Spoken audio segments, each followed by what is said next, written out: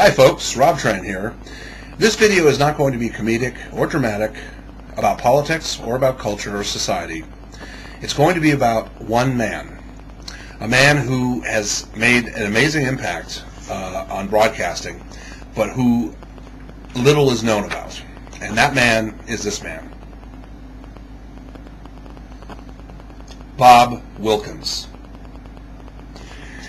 Bob Wilkins got his start in, in broadcasting and television in uh, in the early '60s at a station uh, 54 in Stockton. He was a natural, and so he was lured away to KTXL uh, Channel 40 in Sacramento, where by sheer chance, Bob was offered the uh, the guest, or excuse me, the hosting duties for uh, their local horror show on on Saturday nights. Well, Wilkins didn't really like horror movies very much, but he thought, well, this is definitely a step up, so I'll go for it. And he did. And he threw himself into it. He was very creative. He produced all his own shows. He wrote all his own shows. Of course, he starred in them too. And before very long, he had a huge following all through the Sacramento Valley. Now, the funny thing about Bob Wilkins was, aside from the fact his success rested on not only the fact that he really didn't like horror movies, ironically, but because also he, unlike any other horror movie late night show you can think of, whether it was Vampira, who started it all in 19 in the early 1950s, or El, later on Elvira, Mistress of the Dark, he was utterly normal. He would come on to the set wearing a suit and tie, uh, big thick glasses, and a nice big stogie, and he would smoke it too. Those were the days, weren't they? And uh, and he had an amazing acerbic wit and not never cutting or mean or obnoxious, just acerbic, just you know, a really good sense of satire, and very witty, uh, very funny guy in a very naturalistic way. And according, and, and he also had an air of decency about him. It was it was hard to pin. It's hard to pin down, thinking back to when I saw him, um, and I'll get to that. He was a very acerbic guy, and that was the key to his success. Uh, he would in, at KTXL 40 he developed a format um, for for his own personal format for horror shows, um, late night horror shows, in which he would basically tell people, "You shouldn't watch this show. Really, you shouldn't." Now remember, this is back in the 60s. This is around 64, 65 when he was KTXL 40. And he would say, you shouldn't watch this show. No, no.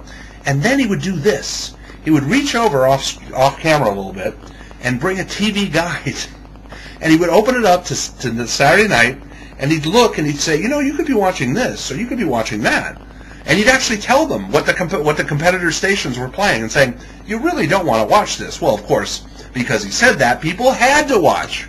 You know, brilliant idea, and and and, and so simple. You know, which brilliant ideas usually are. Um, all that together made him a huge hit at KTXL 40.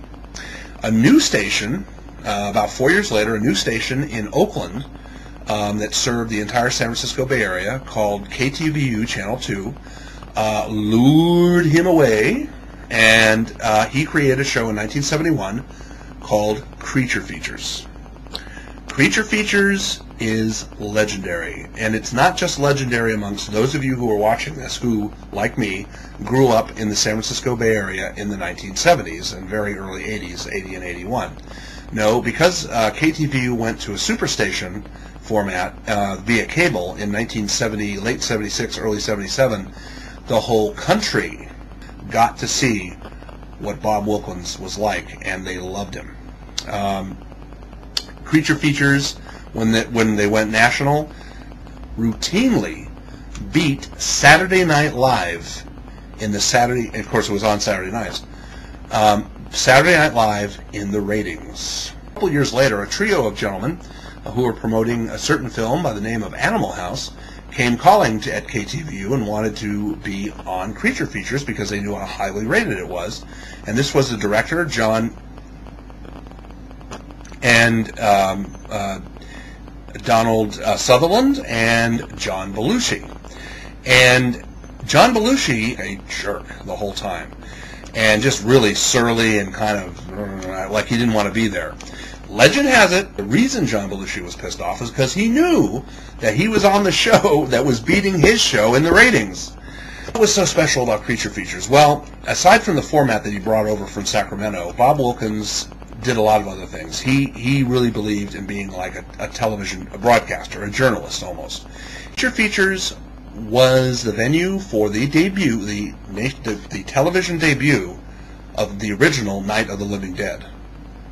KTVU was the only one that had it, and that was in 1973 before they were Superstation, so other folks in around the country could only read about the fact that this station in Oakland, California, was the first station to show Night of the Living Dead, and to their great credit, KTV, and I watched that, by the way, and it's, oh man. I was not. I was no. I was eight years old. I was entirely too young to watch that movie. Um, but KTVU was very, very, very. They they really did a great job. They they cut the very worst stuff out of it, but left everything else untouched. And so there's that. There's the fact that that um, Bob Wilkins had uh, a really good interview with Anne Rice um, right after the publication of her famous novel Interview with a Vampire. This would, of course, again would have been in the mid 70s. Um, but there was something else that, that um, Bob Wilkins did that, that, is noteworthy for broadcasting. In that, after uh, uh, about a year after KTVU became a superstation, he was vacationing in Hawaii, and he was noticing that, that Hawaiian kids were just going, or kids in Hawaii were going nuts for these Japanese animated cartoons, for the animated shows, and also some kid shows that weren't animated; they were live action. So he got this kind of ticking in his head. Then Star Wars hit in that, that summer, and that was it. He said, "I've got to do something that taps into this," and he did. He did a show called Captain Cosmic, and um, I remember that show very fondly. But it introduced kids all across the country to something they had never seen before, except the ones in Hawaii, of course and that is that anime style of you know the, the way that they would speak and the way the characters would move and and and the the uh, quality of the drawing and the artwork and stuff. And he showed that that he introduced that to um, to American kids. And that's something that almost nobody knows about. Uh, and it's sad because he deserves credit for that. Now um, I said at the start of this video that that that Bob Wilkins um, is in trouble um, and the trouble is this. He appears to have, well, he does have Alzheimer's. He's had Alzheimer's for, he was diagnosed 10 years ago, and it is now appears to be in its late stages. His wife, Sally, is appealing to people to, um, to please donate any money they can, um, but any amount of money, um, any amount of money will help the family, and will especially help her. Uh, you know, but so they're having problems financially. They're having problems helping Bob, you know, who's now becoming very, very infirm. Um, I'm going to put right over here, right over here, a link to her um, her website, wherein she has another link to PayPal. Um, if you're not comfortable with PayPal, I believe she also has her own personal email. You can email her and ask her for her address. And if you know if you just want to send a check or a money order or something, I'm sure she'll be happy to do you know to go along with that. I hope anyway, because um, I know I, I, know I personally am very leery about about uh, using PayPal, and I'm probably going to ask her if I can send a money order uh, with a donation. But but please donate if you can. Um, Bob Wilkins is an unsung. I don't want to say hero because that's not really the word. He's an unsung force in our in our recent cultural past, especially obviously pertaining to television. And uh, he's done a lot of great stuff, and he's going to leave a really great legacy. I, I hope that somebody writes a biography about the man. He, I really do. Um, it's not so much that Bob Wilkins is better than anybody else or deserves it more than anybody else, the help, I mean. It's just because I think that he's he's earned, at the very least, the right to be comfortable in the last years of his life. And knowing what I know about Alzheimer's, um, it's going to be very, very hard for him, and it's going to be very, very hard for his family uh, between now and the time that he dies. And uh, so, the link is in the description.